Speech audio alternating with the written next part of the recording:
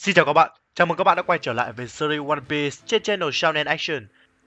Áo giáp Germa chính là trang phục đặc biệt tích hợp công nghệ được thiết kế riêng cho chiến đấu. Nó được tạo ra từ vương quốc Germa, được sử dụng độc quyền bởi các thành viên của gia đình hoàng gia Vinsmoke. Khi chưa được đem ra sử dụng, trang phục nằm gọn trong một chiếc hộp trụ màu tối với ký tự màu sáng đặc trưng cho mỗi thành viên. Chữ G là Judge, O là Riju, One là Ichiji, 2 là Niji và 4 là Jonji. Khi cần sử dụng, người dùng sẽ bấm một nút trên chiếc hộp để kích hoạt.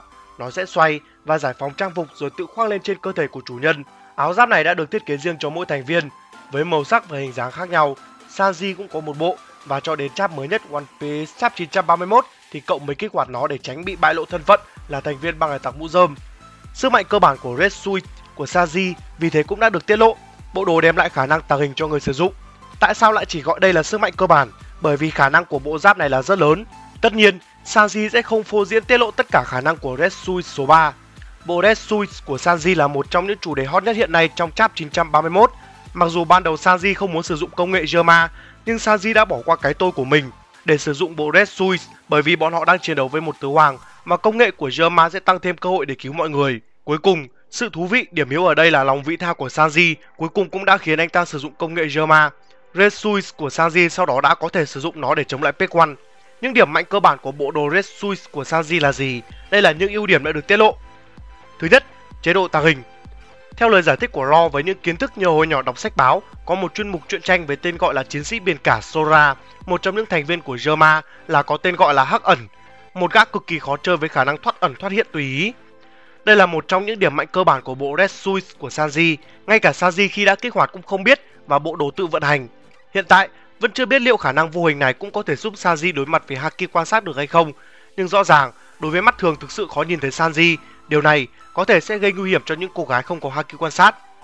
Tất nhiên, miễn là Sanji sử dụng bộ Red Suit này để chiến đấu chống lại kẻ thù thì hiệu quả chắc chắn sẽ là rất nhiều, chỉ cần nhìn vào Page One đã khá khó khăn để dự đoán đòn tấn công của Sanji. Thứ hai, năng lực phòng thủ của bộ Red Suit. Sanji cũng nhận ra rằng áo choàng của anh ta không chỉ là để cho đẹp mà còn có thể được sử dụng để làm khiên chắn. Sau đó là với đôi giày. Trước đây, với đôi chân của mình, Sanji có thể sử dụng các kỹ thuật tấn công mạnh mẽ cho phép anh ta di chuyển với tốc độ cao tấn công, sau đó trở về vị trí ban đầu. Bây giờ, với những đôi giày này sẽ giúp Sanji bay được trong không trung, nhảy xa và tăng sức mạnh cho những cú đá với hệ thống lực đẩy. Với khả năng từ bộ Red Suit của Sanji, theo cách này thì Sanji rất có thể sẽ trở thành thành viên nhanh nhất trong nhóm mũ rơm. Bên cạnh đó, nếu bạn nhìn vào các khả năng cơ bản của trang phục Germa khác, rất có thể Sanji cũng miễn nhiễm với đạn thông thường. Thứ ba, tăng sức mạnh thể chất. Nếu bạn chú ý, Peg One đã dính hoàn toàn đòn tấn công của Sanji trong chap 930 mà không gặp vấn đề nghiêm trọng nào. Anh ta tuy bị sốc và đã ngã, nhưng sau đó anh ta lập tức đứng dậy và báo cáo đã tìm thấy mục tiêu của mình. Tuy nhiên, trong tập mới này thì đòn tấn công đầu tiên của Sanji trong bộ đồ Red Suits đã khiến Peg One biến hình thành dạng lai giữa khủng long và người, dường như để đối phó với tốc độ chóng mặt của Sanji. Sau đó, cuộc tấn công cuối cùng của Sanji trong chương này, mặc dù chúng ta không được nhìn thấy hiệu quả, nhưng dường như khiến Peg One phải hét lên. Vì vậy, sức mạnh thể chất của Saji đã được tăng lên. Chúng ta có thể thấy rằng ngay cả khi không có bộ đồ Red Suit thì Saji có thể là kẻ mạnh thứ ba trong băng mũ rơm. Sự gia tăng sức mạnh mới này khiến anh ta càng nguy hiểm hơn. Cú đá của Saji cũng dường như không có trang bị haki vũ trang.